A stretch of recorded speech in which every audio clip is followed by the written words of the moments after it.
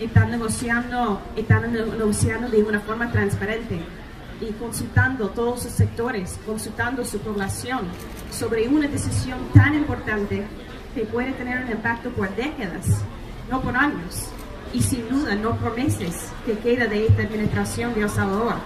Una decisión tan importante creo que vale la pena de discutir de una forma transparente, de consultar con los sectores que van a tener un impacto y también, por supuesto, con su propia población.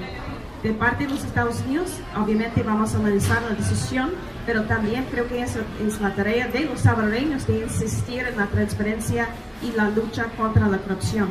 La última pregunta.